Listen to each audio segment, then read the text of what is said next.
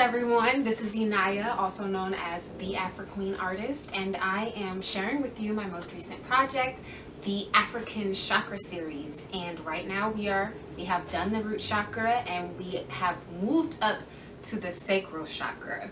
The, so in the root chakra, oh, excuse me, in the root chakra, we remember uh, setting that foundation and grounding ourselves. So now once we confirm like, okay, this is what we're doing, this is where we're about to go.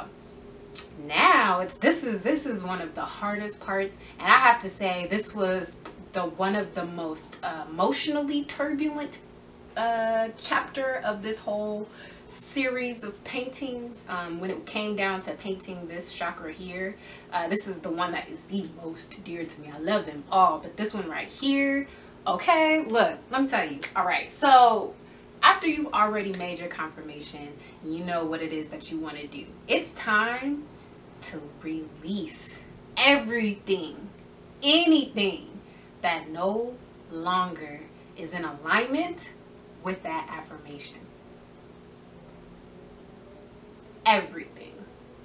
Okay? Even the things that you didn't even think that you had to let go of, it got to go okay? When i tell you there were so many tears you know like it was it's it's it's literally felt like coming up against all of my deepest insecurities. Like i'm talking about insecurities i had in high school.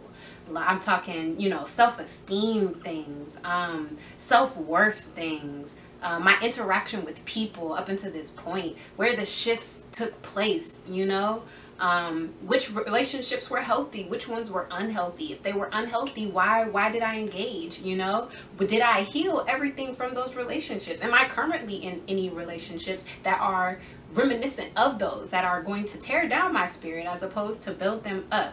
It was a very very real ass chapter. Okay, so um, as I mentioned before, this series was inspired by a book called Opening to Spirit by Caroline Shola Arewa where she breaks down all of the different nitty gritty details of each chakra. So some fun facts about the sacral chakra. The color is orange, okay? Um, and its element, like you know, the, the elements of nature, fire, water, earth, air, ether. This particular corresponding element is water. And it makes sense. You know, where do we go to heal ourselves? You know, we might put ourselves in a bath and just find that relaxing moment there. When we cry, waters come down our face. So water is associated with healing. When we're sick, okay, what do they say? Drink more fluids, drink more water. So water is where it's at when it comes down to healing. Um, so what you'll see in this painting is I incorporate, like that's really what I based a lot of it out of. In the background, you have the rivers flowing. Um, this right here are like two hands holding up a bowl. It's like a offering. It's a ancestral offering to healing. And um, down here, it kind of, for me, this was, this is all kind of abstract and kind of came to me like as I drew it. But it, it reminds me of like those tears welling up in the bottom of your core and then like having to go through all of these different complications before you know you finally open up up to be released. And not only are these tears coming from something that may happen immediately but it may be a part of like it may have been passed down genetically. There may be some traumas or some blockages you're experiencing because genetically they've been passed down and that trauma hasn't yet been healed. Um, I know especially as black people, we have traumas that have not been healed, you know, considering our history. And there are a lot of cultures out there who have had traumatic histories, who have traumatic present day things going on. And that stuff affects us mentally, whether we're aware of it or not. And it, it results in very destructive behaviors.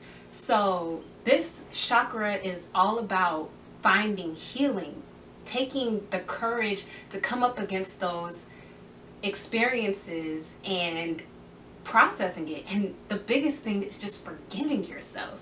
Forgiving yourself, forgiving whoever it was that caused you harm, just so you can move forward. Not to say that you have to forget, like, you know, act like nothing happened because that's not healing.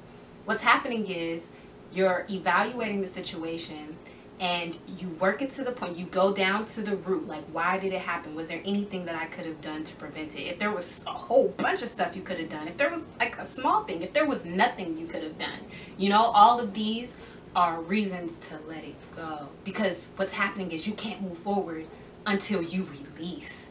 We are made of energy. Each one of these chakras are energy.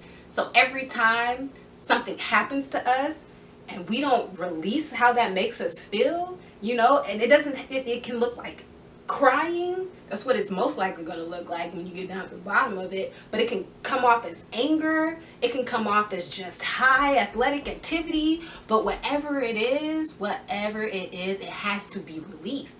Otherwise you get just stuck up. It's like a paper jam in a printer okay?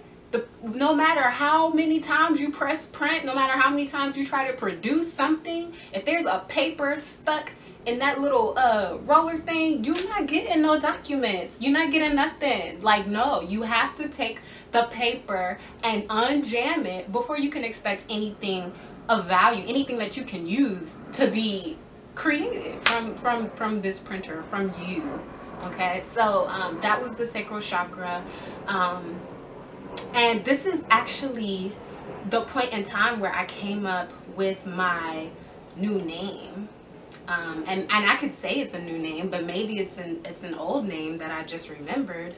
But I decided to give myself a name that was going to further affirm my purpose and to serve as a daily reminder of why it is that I'm here.